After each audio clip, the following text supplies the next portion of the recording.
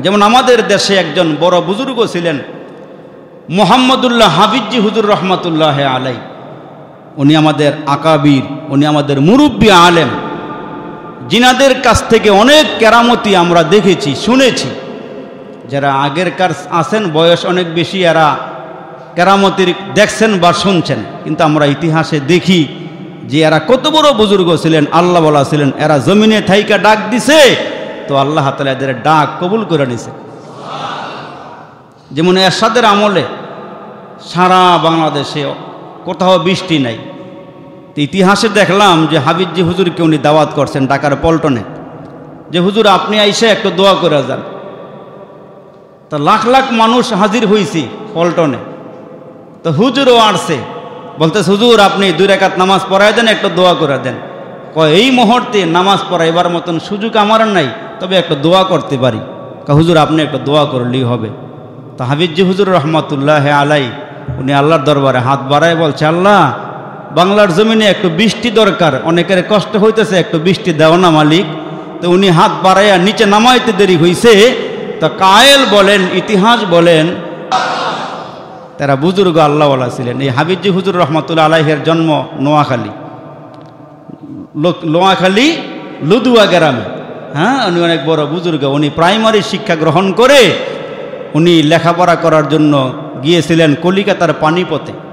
তো যাওয়ার আগে উনি চাঁদপুরে এক মাদ্রাসায় ভর্তি হয়েছিলেন। ওনাদের কথাগুলো শুনলে আমাদের ইমান তাজা হয়। সুবাহান্লাহ বলেন। উনি চাঁদপুরে এক মাদ্রাসায় ভর্তি হয়েছেন। তো মাদ্রাসার যিনি পরিচালনা করেন, জমিদার হাবিজি হুজুরের চেহারা দেখা বলে, এটা বরকতি চেহারা মনে হইতেছে। বলতেছেন, তোমার থাকা খাওয়া মাদ্রাসার পক্ষ থেকে ফ্রি করে দিলাম। তো হুজুর বললেন আমাকে বোর্ডিংয়ে না খাওয়াইয়ে আমার একটা লজিং দিয়ে দেন। তো ওনারা লজিং দিছে মাদ্রাসার পাশে এক পিস সাহেবের বাড়িতে সুবাহান্লাহ বলেন। লজিং দিছে মাদ্রাসার পাশে এক পিস সাহেবের বাড়িতে, আল্লাহওয়ালার ঘরে। তো ওই বুজুর্গ আল্লাহওয়ালা মাঝে মাঝে হাবিজ হুজুরকে নিয়ে সফর করে, ছাত্র অবস্থায়, পড়া অবস্থায় সফর করে তো হাবিজি হুজুর রহমতুল্লাহ আলাই একদিন বলতেছেন যে, হজরত, এই সফরের হালাতে আমার পড়ালেখার ব্যাঘাত হয়। আমি লজিং ছেড়ে দিব। আমি মাদ্রাসায় চলে যাব। তো হুজুর বলতেন, ঠিক আছে, যাইও। তোমাকে আমি নিয়ে সফর করি। আমার একটা উদ্দেশ্য আছে। সুবাহ আল্লাহ তো হাবিজি হুজুর বলেন, আমার এই পীর সাহেবের বাড়িতে থাকাকালীন সময়ে সকাল সন্ধ্যা দুই ঘণ্টা হুজুর আমার লঙ্গি মুড়া দিয়া মাতা ডাইকে আমার এক দেড় ঘণ্টা জিক্রি করায়। আর একটু জোরে কোন সুবাহ আল্লাহ আমাকে জিকিরি করে, আল্লাহ আল্লাহ শিখায়। তো আমার অবস্থাটা হয়েছে কি? হাবিজি হুজুর রহমতুল্লাহ আলাইহের ওই এক দেড় ঘণ্টা জিকির তার কলবের ভিতরে এমন বসা পড়ছে, উনি রাস্তা দিয়ে হাঁটলো পশমের গোড়ায় গোড়ায় জিকির বাইরে। তা হাবিজি হুজুর একবার বাথরুমে গেছে। বাথরুমে গিয়ে তো আল্লাহকে নাম নেওয়া যায় না। ওইখানে চুপচাপ থাকা লাগে। তো ওখানে বাথরুমে ঢুকার পরেও ওনার জিব্বা জিকির করতেছে। ওনার ঠোঁট জিকির করতেছে। উনি দাঁত দিয়া, জিব্বাকে কামড় দিয়া ধরলেন। এমন করে ধরছে, ধরার পরও জিব্বা নড়তেছে। তো উনি যখন টয়লেট থেকে, বাথরুম থেকে বের হয়েছে তাকায় দেখে ওনার ঠোঁট দিয়া রক্ত পড়তেছে। তো জিজ্ঞেস করল, হুজুর, আপনার জিব্বা দিয়া, ঠোঁট দিয়া রক্ত পড়তেছে কেন? আমি আল্লাহ, আমি বাথরুমে গিয়ে যখন বসলাম, আমার জিব্বা জিকির করতে চাইতেছে। আমি কামড় দিয়া ধরছি, এমন করে ধরছি তারপরে জিব্বাকে রাখতে পারতেছে না জিকির করবই করবই, এমন করে কামড় দিয়া দৌড়ছি ওই হালাতে, কামড়ের হালাতে আমার জিব্বা কেটে গেছে। জোরে বলেন। আজকে আমাদের জবান দিয়ে আল্লাহর নাম বাইর হয় না। আল্লাহ বাকার নাম নিতে চাই না, অথচ এরা জিকিরি করতে করতে পুরা বডির থেকে জিকিরের আওয়াজ বাইর হইত তাহাবিজি হুজুর রহমতুল্লাহ আলাই চাঁদপুর মাদ্রাসায় পড়াকালীন সময়ে উনি একদিন রাস্তা দিয়ে বের হইয়া টয়লেটে গেলেন। গিয়ে দেখলেন টয়লেটের ভিতরে একটা কাগজের টুকরা। আমরা যেমন মাটি অথবা টিস্যু পেপার ব্যবহার করি, ডিলাকুলুক হিসাবে, উনি তাকায় দেখলেন কে জানি টয়লেটের ভিতরে কাগজ ব্যবহার করছে। উনি ময়লার থেকে কাগজটা উঠাইছে। কাগজ থেকে ময়লা সরাইছে। সরাইয়া দেখে ওই কাগজের ভিতরে বিসমিল্লা লেখা। আর একটু জোরে কনসবাহানা তখন আমাদের এই বঙ্গদেশে হ্যাফসখানা মাদ্রাসা ছিল না। ওনার জন্ম হয়েছিল তেরোশো তেরো হিজড়িতে। অনেক আগে। তো উনি নিয়ত করলেন যে, আল্লাহ, আমি তোমার নামের কাগজটা উঠাইছি, তোমার এই নামটা আমার কলবের ভিতরে ঢুকাই দাও। উনি নিয়ত করছেন, আমি হাফেজ সাহ হব। তখন হ্যাফসখানা মাদ্রাসাটাই উনি খবর পাইছে যে, উপমহাদেশের ভিতরে কলকাতা পানিপত এলাকার মধ্যে হ্যাফসখানা মাদ্রাসা আছে, আমাকে ওইখানে যেতে হবে। সুবাহান আল্লাহ বলে হিম্মত কারে কা হিম্মত? মুরব্বীদের কাছ থেকে আমরা হিম্মত শিখি। আমরা তো মুসলমান বাইরা একটু সামনে রোজা আসছে, রোজার মাস আমরা ভেঙ্গে পড়ি, একটু হিম্মত করেন। আল্লাহ পাক বিত অন্তরের ভিতরে রোজা রাখার মতন ক্ষমতা দিয়ে দিবেন, হিম্মত করেন। নামাজের মধ্যে আসলে খতমে তারাবির বেলায় আমরা একবারে মনে হয় যেন আমরা কেমন জানি হয়ে যাই, আমরা পারতেছি না। একটু হিম্মত করেন, দেখবেন খতমে তারাবিও পড়তে পারবেন, হিম্মত করেন। তো হাবিজি হুজুর রহমাতুল্লাহ আলাই ওই চাঁদপুরের থেকে নিয়ত করলেন, উনি যাবেন কলকাতা এলাকায়, কিন্তু কেমনে যাবেন? উনি যখন মাদ্রাসার থেকে বের হইলেন, একজন শুভাকাঙ্ক্ষীর সঙ্গে দেখা হইল হাবিজি হুজুরের বলল, তুমি কই যাইবা? কয়, আমি এখন যাব খুলনাতে। কয়, টাকা পয়সা আসেনি কয়, নাই। তখন ওই হিতাকাঙ্ক্ষী, শুভাকাঙ্ক্ষী, ওনারে দেড় টাকা হাদিয়া দিলেন সুবাহান আল্লাহ বলেন। কয় টাকা? দেড় টাকা উনি পুঁজি নিয়া উনি বের হইলেন। উনি লঞ্চ লঞ্চ দিয়া উনি দেড় টাকার বিনিময়ে উনি খুলনা গেলেন। খুলনা নামার পরে ওইখান থেকে উনি যাইতে হবে ওনাকে যশোর এলাকায়। যশোরের থেকে তখন ট্রেন কলিকাতার উদ্দেশ্যে সারে। তখন হাবিজি হুজুর রহমতুল্লাহ আলাই দেখতেছে ওনার কাছে কোনো পুঁজি নাই। কি নাই? পুঁজি নাই। কিন্তু আল্লাহর পক্ষ থেকে ফয়সালা হলে কেউ আটকাইতে পারে না। উনি খুলনা যাওয়ার পরে আরেক লোকের সঙ্গে দেখা হয়েছে চেহারা দেখে বলে, তুমি কি মাদ্রাসায় লেখাপড়া করে? কয় হ্যাঁ। তোমাকে আমি দুই টাকা হাদিয়া দিলাম না দুইটা টাকা লিয়ে উনি দুই টাকা হাদিয়া নিয়ে খুলনার থেকে এই মাহে রমজানে ইতিহাস লেখে চল্লিশ থেকে পঞ্চাশ মাইল জায়গা পায়ে হাইটা উনি খুলনা গিয়ে যশোর গিয়ে পৌঁছলেন। রমজান মাসে রোজা রাইখা উনি চল্লিশ থেকে পঞ্চাশ মাইল জায়গা পায়ে হাইটা উনি যশোরে গিয়ে পৌঁছলেন। যশোরে গিয়ে পৌঁছার পরে ওইখানে গিয়ে একজন পিসাবের সঙ্গে ওনার আবার দেখা হয়েছে দেখেন ভাগ্যটা কত শুদ্ধ ওই পিসাবের কাছে গিয়ে দেখা হওয়ার পরে উনি ওইখান থেকে নিয়ত করলেন, যেমন হোক আমি এই যশোর থেকে আমি এখন কলিকাতা পানিপথ যাব। উনি যখন ঘর থেকে বের হয়েছি সাথে আছে কয় টাকা? বলে বলেন না, কয় টাকা? দুই টাকা। উনি যখন বের হইছে, বের হওয়ার পরে ওনাকে দিছে কুকুরে কামড়। কোনো গার্জিয়ান নাই, অভিভাবক নাই যে কুকুরে কামড়। এখন পায়ের থেকে রক্ত বের হইতেছে, এখন যাবে কোথায়? কোনো গার্জিয়ান নাই, কোনো লোক নাই। তখন লোকেরা যখন দেখছে এই বাচ্চাটাকে কুকুরে কামড় দিছে, রক্ত পড়তেছে, সবাই বলতেছে, কাজ করো। যশোরে হাসপাতাল আছে, ওইখানে গিয়ে ভর্তি হইয়া তুমি চিকিৎসা নাও। উনি হাসপাতালে গেলেন গিয়ে জানতে পারলেন যে এই হাসপাতালে কুকুরের ভ্যাকসিন দেওয়া হয় না। এই ভ্যাকসিন দেয় কোথায়? ভ্যাকসিন দেয় কলিকাতায়। সব হাংলা বলেন না। কলিকাতায় একটা জায়গা আছে, কাচারি পাহাড় নামে। পাহাড়ের ওপর একটা হাসপাতাল, ওইখানে কুকুরের কামড়ের চিকিৎসা দেওয়া হয়। এখন যাবে কি করে? সাথে আছে কয় টাকা? দুই টাকা। তো লোকেরা বলল, আমাদের ডিসি সাহেব খুব ভালো মানুষ, ওনার সঙ্গে একটু যোগাযোগ করো। তখন এই বাংলার হাবিজি হুজুর রহমতুল্লাহ আলে আমাদের আকাবের, আমাদের মুরব্বী, আমাদের সেরে তাজ, উনি ডিসি সাহেবের সঙ্গে গিয়ে যোগাযোগ করলেন। ডিসি ছিলেন খুব ভালো মানুষ। উনি বললেন, অসুবিধা নাই, তোমাকে আমি কলকাতা যাওয়ার আপ ডাউন টিকিট করে দিচ্ছি।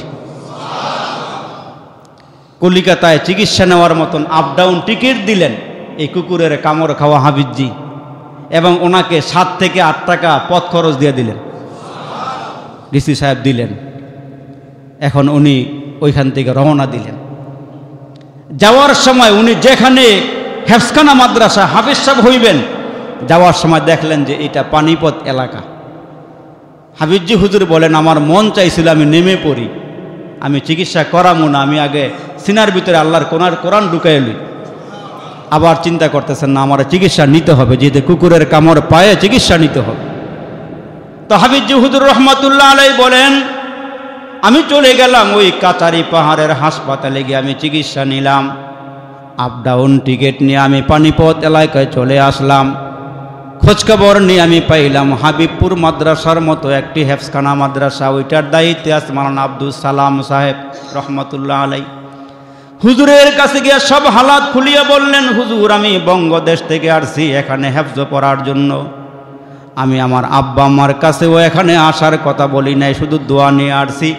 আমি দূরে যাব, তোমরা আমাকে দোয়া দিও, আমি যেন আল্লাহর কোরআন সিনার মধ্যে ঢুকাইতে পারি।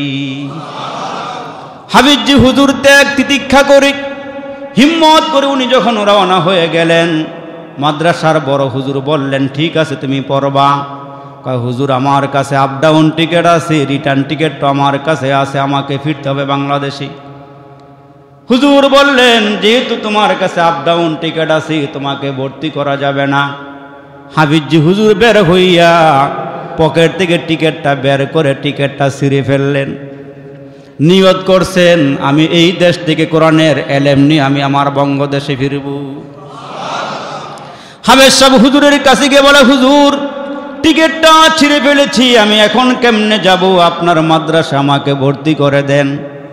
ওই মাদ্রাসায় ভর্তি হইয়া উনি মুসলমান কয়েক মাসের ভিতরে উনি বাইশ পারা কোরআন মুখস্থ করে ফেললেন।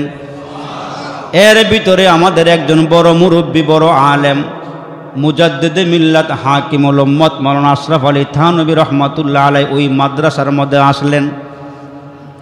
মৌলানা আব্দুল সালাম রহমতুল্লাহ আলাই বাংলার মোহাম্মদুল্লাহ হাবিজিকে নিয়ে থানবী রহমতুল্লাহ আলাইহের কাছে গিয়ে ঘটনা খুলে বললেন থানবী রহমাতুল্লাহ আলাই হাবিজির চেহারা দেখা বলে, তোমার নাম আজকের থেকে মোহাম্মদুল্লাহ। তুমি হইলা রসুলের প্রিয়, আল্লাহর প্রিয়, তোমার নাম দিয়ে দিলাম মোহাম্মদুল্লাহ।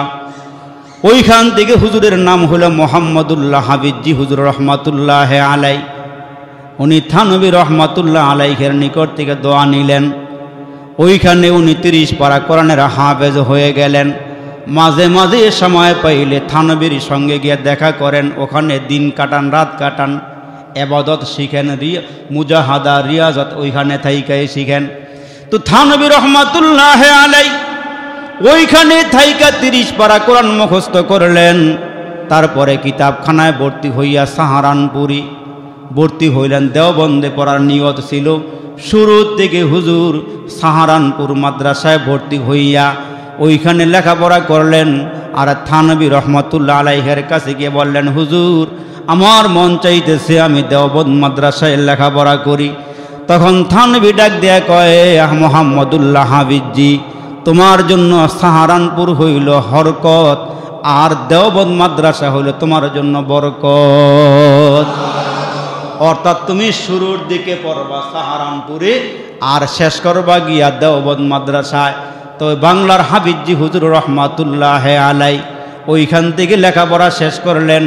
সাড়ে এগারো বছর পর্যন্ত লেখাপড়া কইরা উনি বাংলার একজন মুসলমান অলিয়ে কামেল হইয়া উনি দেশে ফিরলেন।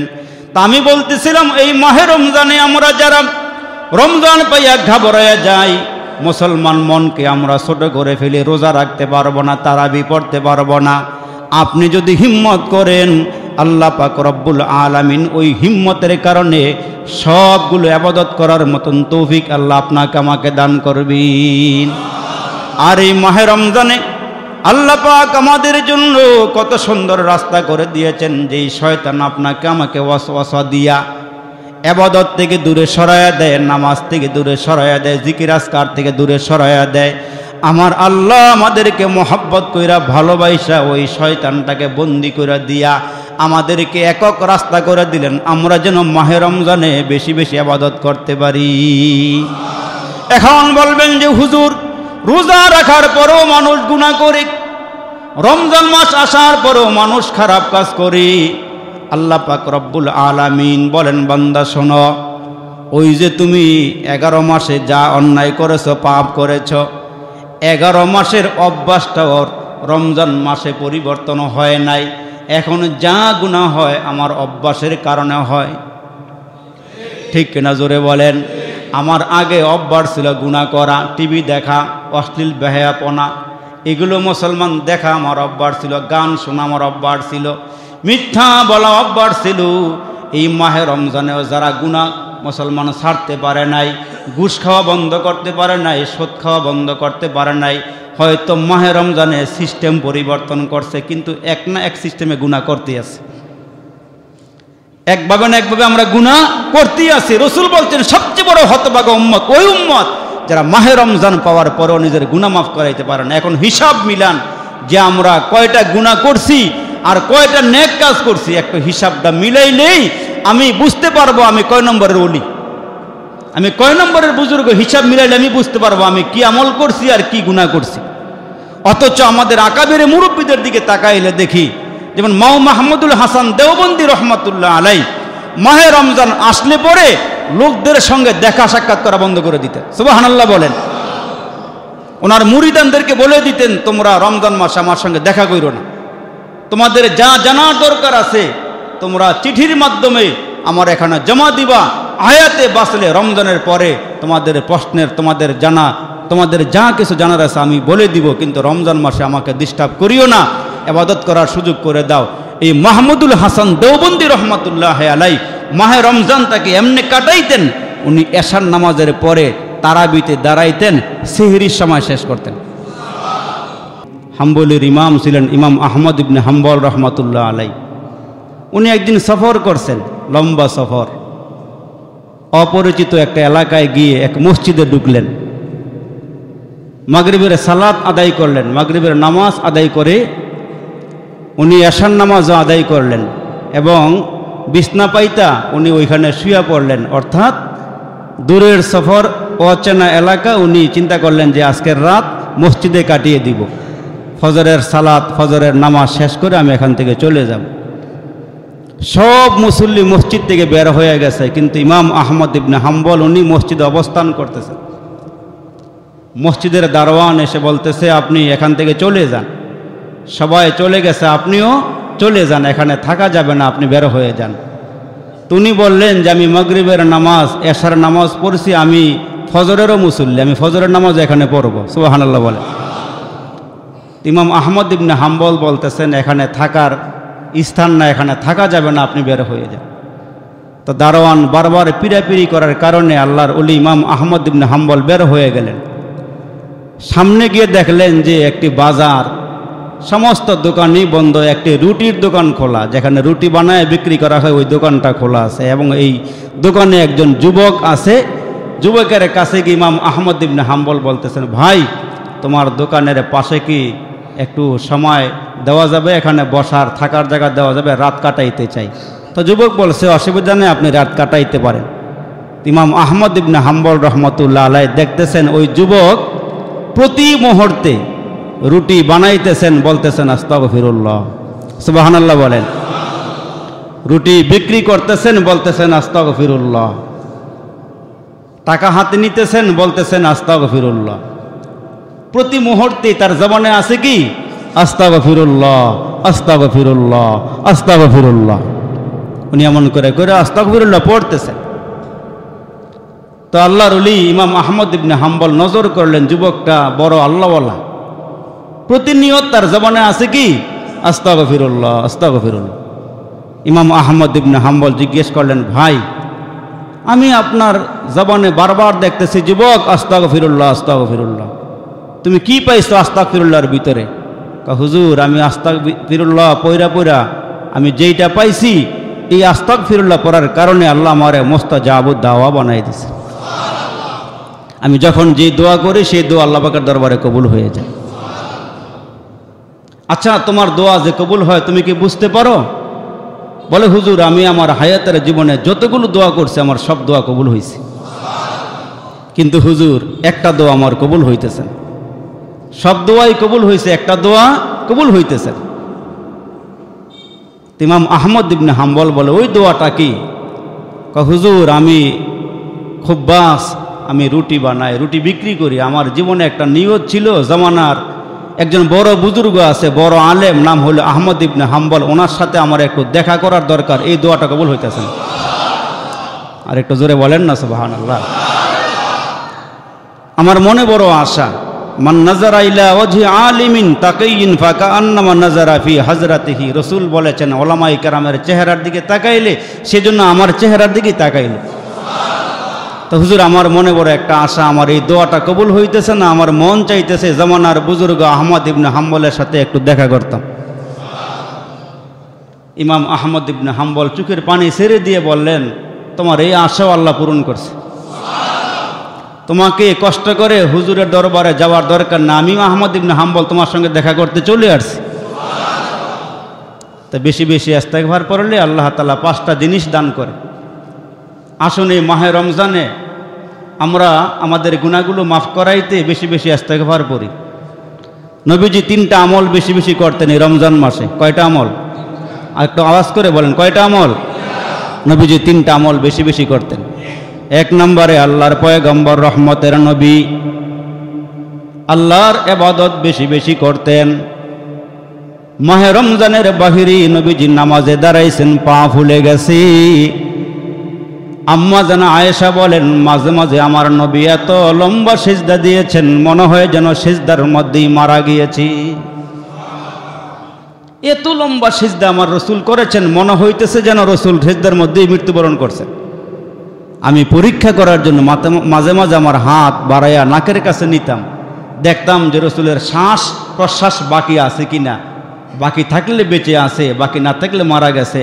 আমি দেখছি আল্লাহ বাকার নবী সেজদায় পরে পরে, বেশি বেশি আল্লাহ বাকার দরবারে সেজদার মধ্যে তুসবি আদায় করতেছেন। সুবাহান আল্লাহ বলে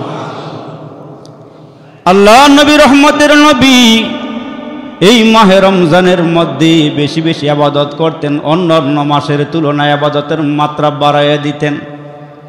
নবীজি মাহে রমজানের কোনো রাত্রে আরাম করে নাই, কোনো রাত্রে ঘুমায় নাই। আল্লাহ নবী রহমতের নবীর নবীর উপরে আল্লাহ এই মাহে রমজানে কোরআন নাজিল করেছেন। জিব্রাইল আমিন পয়গম্বরের কাছে কোরআন নিয়ে এসেছেন। আমার নবীকে আমার আল্লাহ এত সম্মান দিয়েছেন। আমার নবীজি যেখানে আমার আল্লাহর কোরআনের আয়াত সুরা নাজিল হয়েছে সেখানে কোন নবীর বেলায় এমনটা ছিল না, আমার নবীর বেলায় আমার আল্লাহ যেমনটা আমার নবীকে আল্লাহ দান করেছেন। তো রসুল আরবি মাহে রমজান আসলেই আবাদতের মাত্রা বাড়াইয়া দিয়েছেন। বিশ্ব নবী রহমতুল্লিল আলমিন মাহে রমজানে আল্লাহর দরবারে বেশি বেশি কান্নাকাটি করতেন দুই নম্বর আবাদত সুবাহান আল্লাহ বলেন। এক নম্বরের আবাদত, আবাদতের মাত্রা বাড়াইয়া দিতেন। দুই নম্বরে আল্লাহর নবী আল্লাহর দরবারে বেশি বেশি কান্নাকাটি করতেন। তাফসির কারকরা লেখেন, দুনিয়ার মধ্যে যত পয়গম্বররা আগমন করেছেন, যত সাহাবাই কেরাম তাবেইন তাবে তাবেইন আয়েম্মায়ে মোস্তাহিদিন এবং আমরা যারা আছি কেমত পর্যন্ত আনেওয়ালা সমস্ত মানুষের চোখের পানি যদি এক পাল্লায় দেওয়া হয়, আর আমার নবী হায়াতের জীবনে যত চোখের পানি ফেলাইছেন, সব চোখের পানির মোকাবেলায় আমার নবীর চোখের পানি রোজন বাড়ি হয়ে যাবে। আমার নবী এত কান্না করেছেন আম্মা যেন এসা বলেন, মাঝে মাঝে দেখতাম নবীজি আমার হুজরার, আমার পায়ের কিনারায় নামাজে দাঁড়ায় দাঁড়ায় চোখের পানি মসি, সেজদায় গিয়ে গিয়ে আল্লাহর নবী চোখের পানিগুলো মসি। আমি আমার নবীজিকে একদিন গোসল করাইতে গেলাম, গোসল করাইতে গিয়ে যখন আমার নবীজির দেহ মোবারক থেকে জামাগুলো সরাইলাম আমি তাকায় দেখি গ, পুরা দেহের মধ্যে কালো কালো বসন্তের গোটার মতন দাগ দেখা যায়। পেয়ারা নবীকে জিজ্ঞেস করলাম, নবীজি গো, ছোট্ট কালে কি আপনার গায়ে বসন্তের গোটা উঠেছিল গো? নবী, আপনার গায়ের মধ্যে এত কালো কালো দাগ কেন?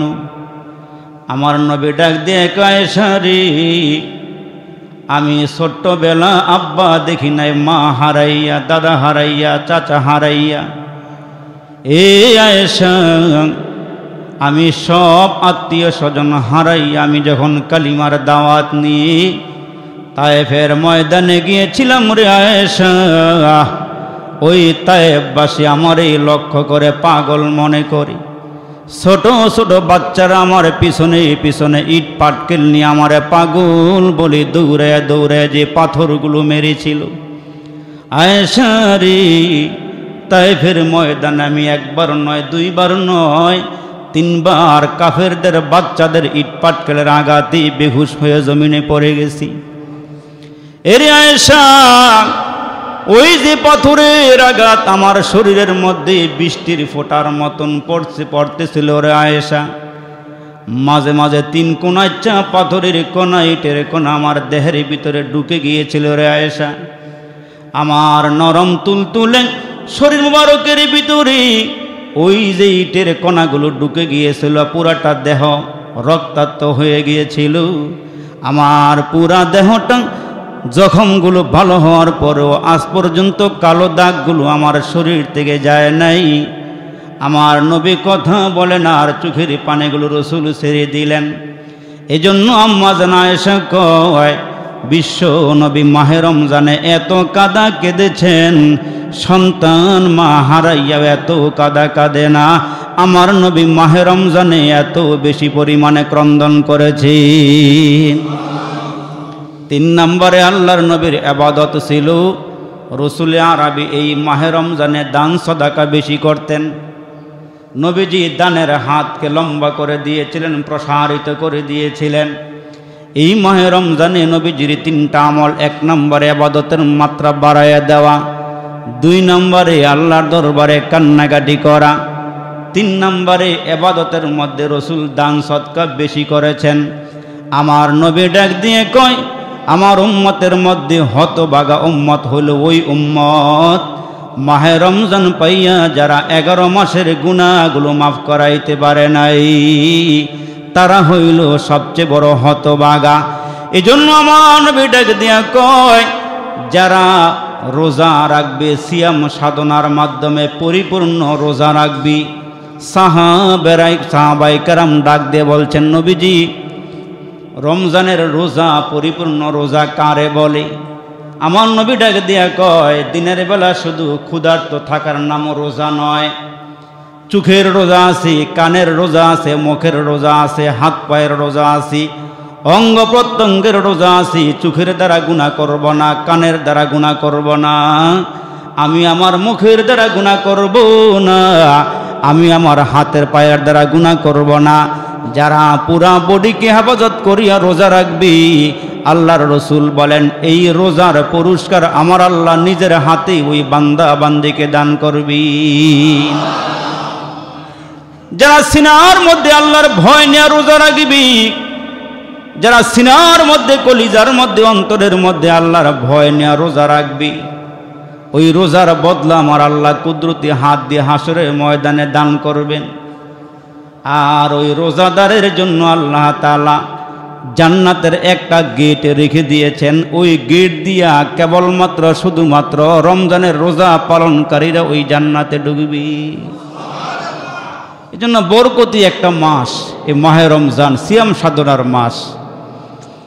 আমরা আসুন এই মাহে রমজানের পুরাপুরি হক আদায় করি। আল্লাহ তৌফিক দান করুক, বলেন আমিন। এই মাহে রমজানে আমরা শুনে আসছি আগের থেকেই যে একটা নফল এবাদত ফরজের সমান হয়ে যায়। একটা ফরজ সত্তরটা ফরজের সমান হয়ে যায়। দিনের বেলা রোজা রাখা, রাতের বেলা তারাবি নামাজ আদায় করা। তো রসুল বলছেন, নিজের রোজা রাইখা।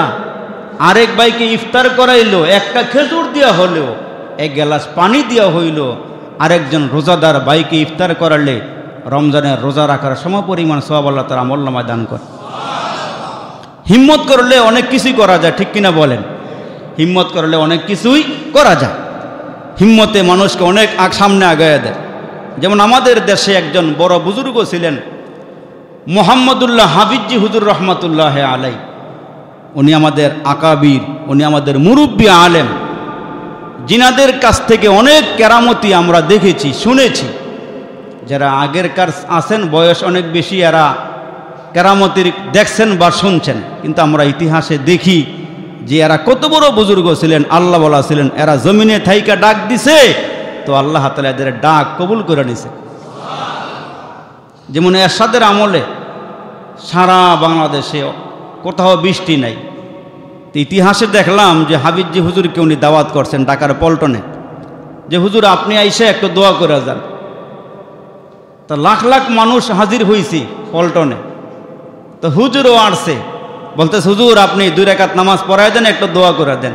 কয়, এই মুহূর্তে নামাজ পড়াইবার মতন সুযোগ আমার নাই, তবে একটা দোয়া করতে পারি। হুজুর, আপনি একটা দোয়া করলেই হবে।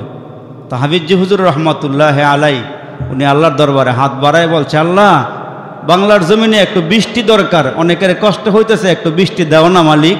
তো উনি হাত বাড়াইয়া নিচে নামাইতে দেরি হইছে। তো কায়েল বলেন, ইতিহাস বলেন, তারা বুজুর্গ আল্লাহওয়ালা ছিলেন। এই হাবিজি হুজুর রহমতুল্লা আলাহের জন্ম নোয়াখালী। নোয়াখালী লুদুয়া গ্রামে। হ্যাঁ উনি অনেক বড় বুজুর্গ। উনি প্রাইমারি শিক্ষা গ্রহণ করে উনি লেখাপড়া করার জন্য গিয়েছিলেন কলিকাতার পানিপথে। তো যাওয়ার আগে উনি চাঁদপুরে এক মাদ্রাসায় ভর্তি হয়েছিলেন। ওনাদের কথাগুলো শুনলে আমাদের ইমান তাজা হয়। সুবাহানাল্লাহ বলেন। উনি চাঁদপুরে এক মাদ্রাসায় ভর্তি হয়েছেন। তো মাদ্রাসার যিনি পরিচালনা করেন, জমিদার হাবিজি হুজুরের চেহারা দেখা বলে, এটা বরকতি চেহারা মনে হইতেছে। বলতেছেন, তোমার থাকা খাওয়া মাদ্রাসার পক্ষ থেকে ফ্রি করে দিলাম। তো হুজুর বললেন, আমা- আমাকে বোর্ডিংয়ে না খাওয়াইয়ে আমার একটা লজিং দিয়ে দেন। তো ওনারা লজিং দিছে মাদ্রাসার পাশে এক পীর সাহেবের বাড়িতে সুবাহান্লাহ বলেন। লজিং দিছে মাদ্রাসার পাশে এক পীর সাহেবের বাড়িতে, আল্লাহওয়ালার ঘরে। তো ওই বুজুর্গ আল্লাহওয়ালা মাঝে মাঝে হাবিজ যে হুজুরকে নিয়ে সফর করে, ছাত্র অবস্থায়, পড়া অবস্থায় সফর করে। তো হাবিজি হুজুর রহমতুল্লাহ আলাই একদিন বলতেছেন যে হজরত এই সফরের হালাতে আমার পড়ালেখার ব্যাঘাত হয়। আমি লজিং ছেড়ে দিব। আমি মাদ্রাসায় চলে যাব। তো হুজুর বলতেন, ঠিক আছে, যাইও। তোমাকে আমি নিয়ে সফর করি, আমার একটা উদ্দেশ্য আছে। সুবাহ আল্লাহ তো হাবিজি হুজুর বলেন, আমার এই পীর সাহেবের বাড়িতে থাকাকালীন সময়ে সকাল সন্ধ্যা দুই ঘণ্টা হুজুর আমার লঙ্গি মুড়া দিয়া মাতা ডাইকে আমার এক দেড় ঘণ্টা জিক্রি করায়। আর একটু জোরে কনসুব আল্লাহ কয় আমাকে জিকির করে, আল্লাহ আল্লাহ শিখায়। তো আমার অবস্থাটা হয়েছে কি? হাবিজি হুজুর রহমতুল্লাহ আলাইহের ওই এক দেড় ঘণ্টা জিকির তার কলবের ভিতরে এমন বসা পড়ছে, উনি রাস্তা দিয়ে হাঁটলো, পশমের গোড়ায় গোড়ায় জিকির বাইরে। তা হাবিজি হুজুর একবার বাথরুমে গেছে। বাথরুমে গিয়ে তো আল্লাহ পাকের নাম নেওয়া যায় না। ওইখানে চুপচাপ থাকা লাগে। তো ওখানে বাথরুমে ঢুকার পরেও ওনার জিব্বা জিকির করতেছে। ওনার ঠোঁট জিকির করতেছে। উনি দাঁত দিয়া, জিব্বাকে কামড় দিয়া ধরলেন। এমন করে ধরছে, ধরার পরও জিব্বা নড়তেছে। তো উনি যখন টয়লেট থেকে, বাথরুম থেকে বের হয়েছে তাকায় দেখে ওনার ঠোঁট দিয়া রক্ত পড়তেছে। তো জিজ্ঞেস করল, হুজুর, আপনার জিব্বা দিয়া, ঠোঁট দিয়া রক্ত পড়তেছে কেন?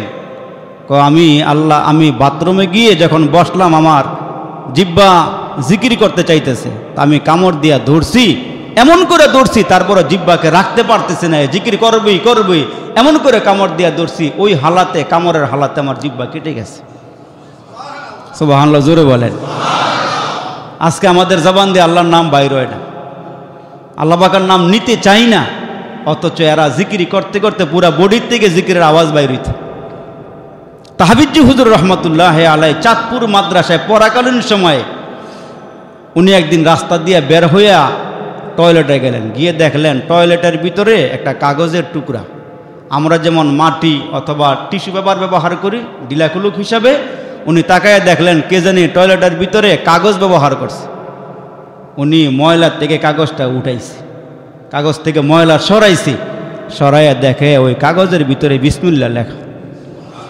আর একটু জোরে কন সুবাহানা তখন আমাদের এই বঙ্গদেশে হেফসখানা মাদ্রাসা ছিল না। ওনার জন্ম হয়েছিল তেরোশো তেরো হিজড়িতে। অনেক আগে। তো উনি নিয়ত করলেন যে, আল্লাহ, আমি তোমার নামের কাগজটা উঠাইছি, তোমার এই নামটা আমার কলবের ভিতরে ঢুকাই দাও। উনি নিয়ত করছেন, আমি হাফেজ সাহ হব। তখন হেফসখানা মাদ্রাসাটাই উনি খবর পাইছে যে, উপমহাদেশের ভিতরে কলকাতা পানিপথ এলাকার মধ্যে হেফসখানা মাদ্রাসা আছে, আমাকে ওইখানে যেতে হবে। সুবাহান আল্লাহ বলে। হিম্মত কারে কয় হিম্মত? মুরব্বীদের কাছ থেকে আমরা হিম্মত শিখি। আমরা তো মুসলমান ভাইরা, একটু সামনে রোজা আসছে, রোজার মাস আমরা ভেঙ্গে পড়ি। একটু হিম্মত করেন, আল্লাহ পাক বিত অন্তরের ভিতরে রোজা রাখার মতন ক্ষমতা দিয়ে দিবেন, হিম্মত করেন। নামাজের মধ্যে আসলে খতমে তারাবির বেলায় আমরা একবারে মনে হয় যেন আমরা কেমন জানি হয়ে যাই। আমরা পারতেছি না। একটু হিম্মত করেন, দেখবেন খাতমে তারাবিও পড়তে পারবেন, হিম্মত করেন। তো হাবিজি হুজুর রহমতুল্লাহ আলাই ওই চাঁদপুরের থেকে নিয়ত করলেন, উনি যাবেন কলকাতা এলাকায়, কিন্তু কেমনে যাবেন? উনি যখন মাদ্রাসা থেকে বের হইলেন, একজন শুভাকাঙ্ক্ষীর সঙ্গে দেখা হইল হাবিজি হুজুরের বলল, তুমি কই যাইবা? কয়, আমি এখন যাব খোলনাতে। কয়, টাকা পয়সা আসেনি? কয়, নাই। তখন ওই হিতাকাঙ্ক্ষী, শুভাকাঙ্ক্ষী, ওনারে দেড় টাকা হাদিয়া দিলেন সুবাহান আল্লাহ বলেন। কয় টাকা? দেড় টাকা উনি পুঁজি নিয়া উনি বের হইলেন। উনি লঞ্চ লঞ্চ দিয়া উনি দেড় টাকার বিনিময়ে উনি খুলনা গেলেন। খুলনা নামার পরে ওইখান থেকে উনি যাইতে হবে ওনাকে যশোর এলাকায়। যশোরের থেকে তখন ট্রেন কলিকাতার উদ্দেশ্যে সারে। তখন হাবিবজি হুজুর রহমতুল্লাহ আলাই দেখতেছে ওনার কাছে কোনো পুঁজি নাই। কি নাই? পুঁজি নাই। কিন্তু আল্লাহর পক্ষ থেকে ফয়সালা হলে কেউ আটকাইতে পারে না। উনি খুলনা যাওয়ার পরে আরেক লোকের সঙ্গে দেখা হয়েছে চেহারা দেখে বলে, তুমি কি মাদ্রাসায় লেখাপড়া করে? কয় হ্যাঁ। কয়, তোমাকে আমি দুই টাকা হাদিয়া দিলাম না দুইটা টাকা লয়ে উনি দুই টাকা হাদিয়া নিয়ে খুলনার থেকে এই মাহে রমজানে ইতিহাস লেখে চল্লিশ থেকে পঞ্চাশ মাইল জায়গা পায়ে হাইটা উনি খুলনা গিয়ে যশোর গিয়ে পৌঁছলেন। রমজান মাসে রোজা রাইখা উনি চল্লিশ থেকে পঞ্চাশ মাইল জায়গা পায়ে হাইটা উনি যশোরে গিয়ে পৌঁছলেন। যশোরে গিয়ে পৌঁছার পরে ওইখানে গিয়ে একজন পিসাবের সঙ্গে ওনার আবার দেখা হয়েছে দেখেন ভাগ্যটা কত শুদ্ধ ওই পিসাবের কাছে গিয়ে দেখা হওয়ার পরে উনি ওইখান থেকে নিয়ত করলেন, যেমন হোক আমি এই যশোর থেকে আমি এখন কলিকাতা পানিপথ যাব। উনি যখন ঘর থেকে বের হয়েছি সাথে আছে কয় টাকা? বলে বলেন না, কয় টাকা? দুই টাকা। উনি যখন বের হইছে, বের হওয়ার পরে ওনাকে দিছে কুকুরে কামড়। কোনো গার্জিয়ান নাই, অভিভাবক নাই যে কুকুরে কামড়। এখন পায়ের থেকে রক্ত বের হইতেছে, এখন যাবে কোথায়? কোনো গার্জিয়ান নাই, কোনো লোক নাই। তখন লোকেরা যখন দেখছে এই বাচ্চাটাকে কুকুরে কামড় দিছে, রক্ত পড়তেছে, সবাই বলতেছে, কাজ করো, যশোরে হাসপাতাল আছে, ওইখানে গিয়ে ভর্তি হইয়া তুমি চিকিৎসা নাও। উনি হাসপাতালে গেলেন গিয়ে জানতে পারলেন যে এই হাসপাতালে কুকুরের ভ্যাকসিন দেওয়া হয় না। এই ভ্যাকসিন দেয় কোথায়? ভ্যাকসিন দেয় কলিকাতায়। সব হামলা বলেন না। কলিকাতা একটা জায়গা আছে কাচারি পাহাড় নামে। পাহাড়ের ওপর একটা হাসপাতাল, ওইখানে কুকুরের কামড়ের চিকিৎসা দেওয়া হয়। এখন যাবে কি করে? সাথে আছে কয় টাকা? দুই টাকা। তো লোকেরা বলল, আমাদের ডিসি সাহেব খুব ভালো মানুষ, ওনার সঙ্গে একটু যোগাযোগ করো। তখন এই বাংলার হাবিজি হুজুর রহমতুল্লাহ আলে আমাদের আকাবের, আমাদের মুরব্বী, আমাদের সেরে তাজ, উনি ডিসি সাহেবের সঙ্গে গিয়ে যোগাযোগ করলেন। ডিসি ছিলেন খুব ভালো মানুষ। উনি বললেন, অসুবিধা নাই, তোমাকে আমি কলকাতা যাওয়ার আপ ডাউন টিকিট করে দিচ্ছি। কলিকাতায় চিকিৎসা নেওয়ার মতন আপ ডাউন টিকিট দিলেন এই কুকুরের কামড় খাওয়া হাবিজি এবং ওনাকে সাত থেকে আট টাকা পথ খরচ দিয়ে দিলেন। ডিসি সাহেব দিলেন। এখন উনি ওইখান থেকে রওনা দিলেন। যাওয়ার সময় উনি যেখানে হেফসখানা মাদ্রাসা হাফিজ সাহেব হইবেন, যাওয়ার সময় দেখলেন যে এটা পানিপথ এলাকা। হাবিজি হুজুর বলেন, আমার মন চাইছিল আমি নেমে পড়ি। আমি চিকিৎসা করামো না, আমি আগে সিনার ভিতরে আল্লাহর কোনার কোরআন ঢুকাই আবার চিন্তা করতেছেন, না, আমার চিকিৎসা নিতে হবে, যেহেতু কুকুরের কামড় পায়ে চিকিৎসা নিতে হবে। তো হাবিজি হুজুর রহমতুল্লাহ আলাই বলেন আমি চলে গেলাম ওই কাতারি পাহাড়ের হাসপাতালে গিয়ে আমি চিকিৎসা নিলাম। আপ ডাউন টিকিট নিয়ে আমি পানিপথ এলাকায় চলে আসলাম। খোঁজখবর নিয়ে আমি পাইলাম হাবিবপুর মাদ্রাসার মতো একটি হেফসখানা মাদ্রাসা, ওইটার দায়িত্বে আছে মালানা আব্দুল সালাম সাহেব, রহমতুল্লাহ আলাই হুজুরের কাছে গিয়ে সব হালাত খুলিয়ে বললেন, হুজুর, আমি বঙ্গদেশ থেকে আসছি এখানে হেফজ পড়ার জন্য। আমি আমার আব্বা আমার কাছেও এখানে আসার কথা বলি নাই, শুধু দোয়া নিয়ে আসছি। আমি দূরে যাব, তোমরা আমাকে দোয়া দিও, আমি যেন আল্লাহর কোরআন সিনার মধ্যে ঢুকাইতে পারি। হাবিজি হুজুর ত্যাগ, তিতিক্ষা করে, হিম্মত করে উনি যখন রওনা হয়ে গেলেন, মাদ্রাসার বড় হুজুর বললেন, ঠিক আছে, তুমি পড়বা। হুজুর, আমার কাছে আপ ডাউন টিকিট আছে রিটার্ন টিকিট তো আমার কাছে আছে, আমাকে ফিরতে হবে বাংলাদেশে। হুজুর বললেন, যেহেতু তোমার কাছে আপ ডাউন টিকিট আছে, তোমাকে ভর্তি করা যাবে না। হাবিজি হুজুর বের হইয়া পকেট থেকে টিকিটটা বের করে টিকিটটা ছিঁড়ে ফেললেন। নিয়ত করছেন, আমি এই দেশ থেকে কোরআনের এলেম নিয়ে আমি আমার বঙ্গদেশে ফিরব। হাবের সব হুজুরের কাছে গিয়ে বলে, হুজুর, টিকিটটা ছিঁড়ে ফেলেছি, আমি এখন কেমনে যাব? আপনার মাদ্রাসা আমাকে ভর্তি করে দেন। ওই মাদ্রাসায় ভর্তি হইয়া উনি মুসলমান কয়েক মাসের ভিতরে উনি বাইশ পারা কোরআন মুখস্থ করে ফেললেন। এর ভিতরে আমাদের একজন বড় মুরব্বী, বড় আলেম, মুজাদ্দেদে মিল্লাত হাকিম উম্মত মৌলানা আশরাফ আলী থানবী রহমাতুল্লাহ আলাই ওই মাদ্রাসার মধ্যে আসলেন। মৌলানা আব্দুল সালাম রহমাতুল্লাহ আলাই বাংলার মোহাম্মদুল্লাহ হাবিজিকে নিয়ে থানবী রহমাতুল্লাহ আলাইহের কাছে গিয়ে ঘটনা খুলে বললেন থানবী রহমাতুল্লাহ আলাই হাবিজির চেহারা দেখা বলে, তোমার নাম আজকের থেকে মোহাম্মদুল্লাহ। তুমি হইলা রসুলের প্রিয়, আল্লাহর প্রিয়, তোমার নাম দিয়ে দিলাম মোহাম্মদুল্লাহ। ওইখান থেকে হুজুরের নাম হলো মোহাম্মদুল্লাহ হাবিজি হুজুর রহমাতুল্লাহ আলাই। উনি থানবী রহমাতুল্লাহ আলাইহের নিকট থেকে দোয়া নিলেন। ওইখানে উনি তিরিশ পারা কোরআনের হাফেজ হয়ে গেলেন। মাঝে মাঝে সময় পাইলে থানবীর সঙ্গে গিয়ে দেখা করেন, ওখানে দিন কাটান, রাত কাটান, এবাদত শিখেন রিয়া মুজাহাদা, রিয়াজত ওইখানে থাইকাই শিখেন। তো থানবী রহমাতুল্লাহ আলাই ওইখানে থাইকা তিরিশ পারা কোরআন মুখস্থ করলেন। তারপরে কিতাবখানায় ভর্তি হইয়া সাহারানপুরি ভর্তি হইলেন, দেওবন্দে পড়ার নিয়ত ছিল। শুরু থেকে হুজুর সাহারানপুর মাদ্রাসায় ভর্তি হইয়া ওইখানে লেখাপড়া করলেন আর থানবী রহমতুল্লাহ আলাইহের কাছে গিয়ে বললেন, হুজুর, আমার মন চাইতেছে আমি দেওবন্দ মাদ্রাসায় লেখাপড়া করি। তখন থানবী ডাক দেয়া কয় মোহাম্মদুল্লাহ হাবিজি তোমার জন্য সাহারানপুর হইল হরকত, আর দেওবন্দ মাদ্রাসা হইল তোমার জন্য বরকত। অর্থাৎ তুমি শুরুর দিকে পড়বা সাহারানপুরে, আর শেষ করবা গিয়া দেওবন্দ মাদ্রাসায়। তো বাংলার হাবিজি হুজুর রহমাতুল্লাহ আলাই, ওইখান থেকে লেখাপড়া শেষ করলেন। সাড়ে এগারো বছর পর্যন্ত লেখাপড়া কইরা উনি বাংলার একজন মুসলমান অলিয়ে কামেল হইয়া উনি দেশে ফিরলেন। তা আমি বলতেছিলাম, এই মাহে রমজানে আমরা যারা রমজান পাইয়া ঘাবড়াইয়া যাই, মুসলমান মনকে আমরা ছোট করে ফেলি রোজা রাখতে পারব না, তারাবি পড়তে পারব না। আপনি যদি হিম্মত করেন আল্লাহ পাক রব্বুল আলামিন ওই হিম্মতের কারণে সবগুলো আবাদত করার মতন তৌফিক আল্লাহ আপনাকে আমাকে দান করবেন। আর এই মাহে রমজানে আল্লাহ পাক আমাদের জন্য কত সুন্দর রাস্তা করে দিয়েছেন যেই শয়তান আপনাকে আমাকে ওয়াসওয়াসা দিয়া এবাদত থেকে দূরে সরাইয়া দেয়, নামাজ থেকে দূরে সরাইয়া দেয়, জিকির আসকার থেকে দূরে সরাইয়া দেয়। আমার আল্লাহ আমাদেরকে মোহাব্বত কইরা ভালোবাসা ওই শয়তানটাকে বন্দি করে দিয়া আমাদেরকে একক রাস্তা করে দিলেন। আমরা যেন মাহে রমজানে বেশি বেশি আবাদত করতে পারি। এখন বলবেন যে, হুজুর, রোজা রাখার পরেও মানুষ গুণা করে। রমজান মাস আসার পরেও মানুষ খারাপ কাজ করে। আল্লাহ পাক রব্বুল আলামিন বলেন, বান্দা, শোনো, ওই যে তুমি এগারো মাসে যা অন্যায় করেছ, পাপ করেছ এগারো মাসের অভ্যাসটাও রমজান মাসে পরিবর্তন হয় নাই। এখন যা গুণা হয় আমার অভ্যাসের কারণে হয়।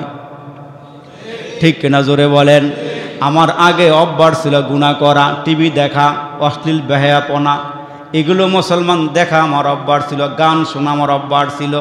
মিথ্যা বলা অভ্যাস ছিল।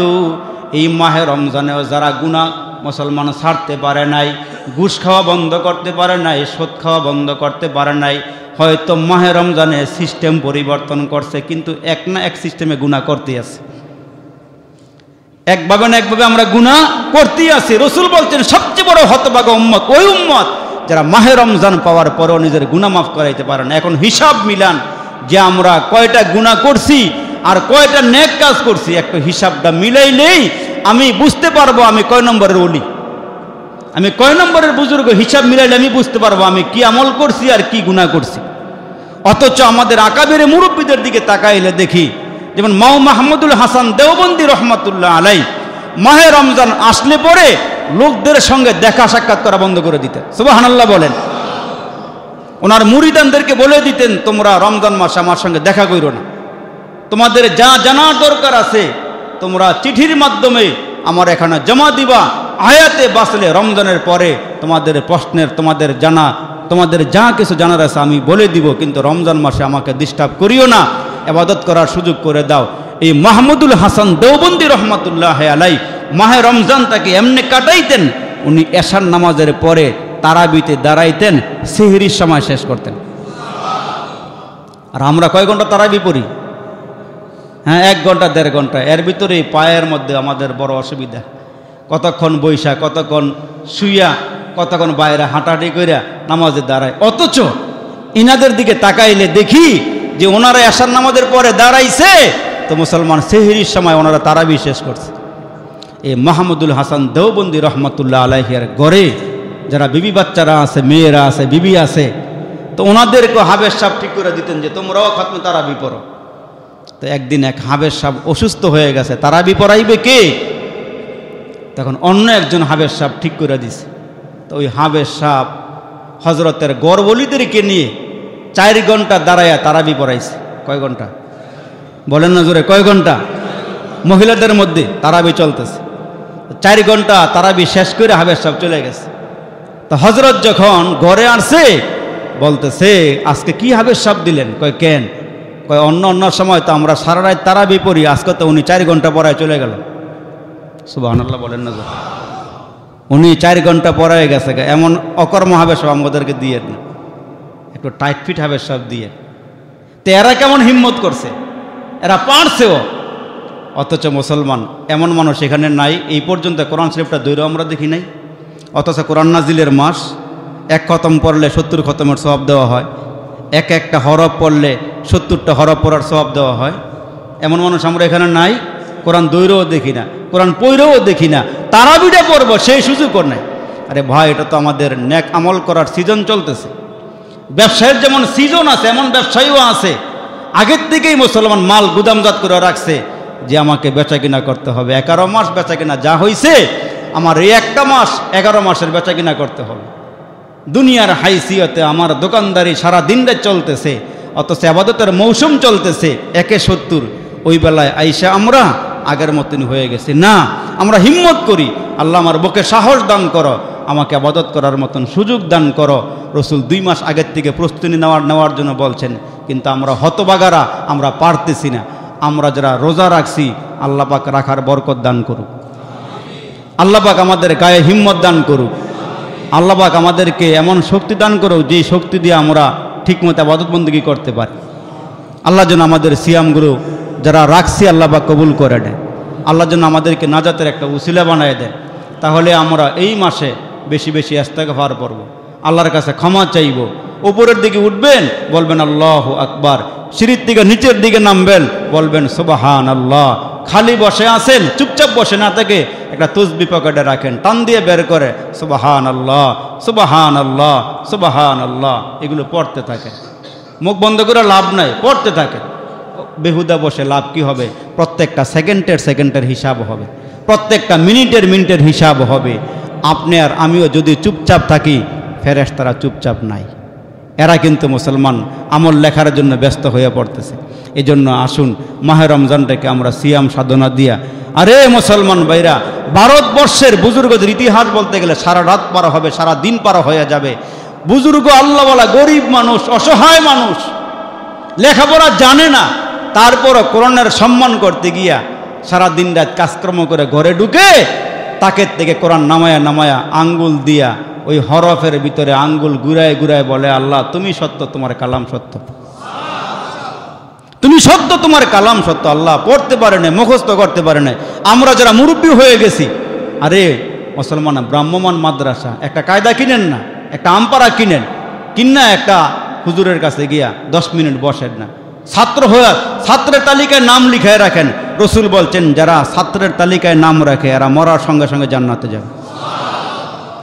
আপনি শিখার তো কোনো বয়স নাই। নব্বই বৎসর বয়সে করোনার হাফেজ হয়েছে আশি বৎসর বয়সে করোনার হাফেজ হয়েছে ইতিহাস আছে। তো ওই যে আল্লাহর বান্দা কৃষক সারাদিন কাজকাম করে, রাতের বেলা আইসা কোরআনটার ওপরে হরফে আঙ্গুল নারায়া নারায়া আঙ্গুল ঘুরায় ঘুরায় কাল্লা তুমি সত্য, তোমার কালাম সত্য। এই লোক মারা গেছে, তারা জানাজা পড়াইছে, মুসলমান যিনি পড়াইছে, ওনার একটা আইডেন্টি কার্ড কবরের ভিতরে পড়ছিল। ওটা উঠাইতে গিয়া কবর খনন করে দেখে, কবরের ভিতরে আলো অন্ধকার কবর আলোকিত হয়ে আছে, কবরের ভিতর থেকে মেশকের গেরান আসতেছে। খোঁজ নিয়ে জানা গেল উনি কোরআন পড়তে পারে নাই, কিন্তু কোরআনটা খুইলা খুইলা চোখের পানি ফালাইছে। আল্লাহর কোরআনের তাজিম করছে, কোরআনের সম্মান করছে। ওই খাতিরে আল্লাহ তালা ওনাকে মাফ করে ওনার কবর জান্নাতের বাগান বানাই দিছে।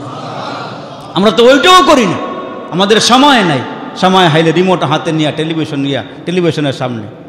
সময় পাইলে আমরা চায়ের দোকানে বসি। আর চায়ের দোকানের ওলার বড় চালাক হয়ে গেছে এখন। যেই পর্দা মহিলারা করবে, সেই আজকে পর্দা এখন দোকানে দোকানে দেখা যায়। এমন কিছু অকর্ম মুসলমান আছে, এগুলো ফেরাউনের চেয়েও খারাপ, নমরুদের চেয়েও খারাপ, কারুনের চেয়েও খারাপ। রমজান মাসে নিজে রোজা রাখে না, আরেকজনের সামনে সিগারেট নিয়ে ঘুরে, আরেকজনের সামনে ওপেন খানা খাইতেছে। মুসলমান রাস্তার মোড়ে মোড়ে হোটেলের ভিতরে, দোকানের ভিতরে, পর্দা দেয় ভিতরে গরুর মতন খাইতেছে। ঠিক কিনা জোর আওয়াজ করে বলেন? এগুলো গরুর চেয়েও খারাপ। এই জন্য সমাজভিত্তিক যারা আমরা আছি, সমাজের নেতা, সমাজের লিডার সমাজকে যারা আমরা পরিচালনা করি, আপনারা কমিটি গঠন করেন, আপনারা এগুলো বন্ধ করে দেন। চোখের সামনে যখন অবৈধ কোনো কাজ হয়, আল্লাহ রসুল বলেছেন, মান রামিনকুম মন কারণ ভালো বিয়াদি। তোমাদের চোখের সামনে কোনো অন্যায় কাজ হলে, অন্যায় কাজ দেখলে তোমার যদি শক্তি থাকে, তুমি হাত দিয়ে বাধা দাও। প্রথম নাম্বার কাজ কি? হাত দিয়ে বাধা দেওয়া। তারপরে যদি হাত দিয়ে না পারো, কথার দ্বারা বাধা দেওয়া কথার দ্বারা না পারল, মনে মনে ঘৃণা করা। এখন বলবেন যে, হুজুর হ্যাঁ টাকা দিয়ে হ্যাঁ খেয়ে আমার কি দরকার? ওর টাকা দিয়ে ওই খে আমার কি দরকার? আপনাকে আল্লাহ কাছে জবাব দেওয়া লাগবে, আপনি সমাজের লিডার আপনি সমাজের নেতৃত্ব দিয়েছেন, আপনার সামনে অবৈধ কাজ হলে সেটাকে আপনার বাধা দিতে হবে। এটা আল্লাহবাকে রসুলের নির্দেশ। কিন্তু মুসলমান, আমাদের সমাজে অহরহ গুণা চলতেছে, আমরা গুণাকে প্রশ্রয় দিচ্ছি। আমরা সেই গুণাকে আমরা প্রশ্রয় দিচ্ছি। আমরা বললে গুণাটা আর হইতো না, কিন্তু আমরা বলি না। আমি আমার দলের কারণে হোক, আমার আত্মীয়র খাতিরে হোক, আমি বলি না। কারণ বললে না জানি আমারে কি বলে, না জানি আমার কি হয় না। আল্লাহ বাকারে হিম্মত করে আপনি বলতে থাকেন, তাহলে মুসলমান আদালতের কাঠগড়ায় দাঁড়ায় বলতে পারবেন যে, আল্লাহ অসৎ কাজ হইতেছিল, আমি বাধা দিয়েছিলাম, আমি পারি নাই। হয়তো আপনি বাঁচতে পারবেন। কুল্লুকুম রাইন ওয়া কুল্লুকুম মাসউলুন আন রাইয়াতিহি আলা কুল্লুকুম রাইন আল্লাহ বাকে রসুল বলেন, প্রত্যেকটা মানুষ জিম্মাদার। আপনি ঘরের কর্তা, আপনি বাবা, সন্তানের জিম্মাদার। আপনি বিবির স্বামী, আপনি জিম্মাদার। আপনি যখন দেখবেন আপনার সামনে ছেলেমেয়েরা অন্যায় করে, সেটাকে বাধা আপনাকে দিতেই হবে। বাধা না দিলে যদি আপনার বিবি অবৈধ কাজ করে, বাধা না দেন, রসুল বলেছেন, তোমরা হচ্ছে দায়ুস, আর দায়ুসের জন্য আল্লাহ পাকের জান্নাত হারাম। নওয়াজবুল্লাহ জোরে বলেন। প্রত্যেকটা ঘরের কর্তা একজন আছে। স্বামীর, বিবির জন্য কর্তা, সন্তানের জন্য কর্তা আব্বা আছে। সেজন্য আমাদেরকে বাধা দিতে হবে। আসুন আমরা গর্হিত কাজ চোখের সামনে দেখলে আমরা বাধা দিই। আমরা এই দিনই কাজটা করি। বাল্লিগু আন্নি ওয়ালাও আয়া। আল্লাহর রসুলের যা নির্দেশ, আল্লাহর যা নির্দেশ, আমরা মানুষের কান পর্যন্ত পৌঁছিয়ে দিই। আল্লাহ আমাদেরকে বুঝার তৌফিক দান করুন। আল্লাহ পাক আমাদেরকে সিয়ামগুলো ঠিকমতো পালন করার তৌফিক দান করুন। মাহে রমজানের তারাবি নামাজগুলো আমাদের ঠিকমতো পড়ার তৌফিক দান করুন। আমরা চোখের গুণা, হাতের গুণা, কানের গুণা, নাকের গুণা, অঙ্গ প্রত্যঙ্গের গুণার থেকে বাঁচবো। আল্লাহ তৌফিক দান করুন। আল্লাহ তালা আমাদেরকে বোঝার তৌফিক দান করুন আমা তৌফিক ইল্লা বিল্লাহ।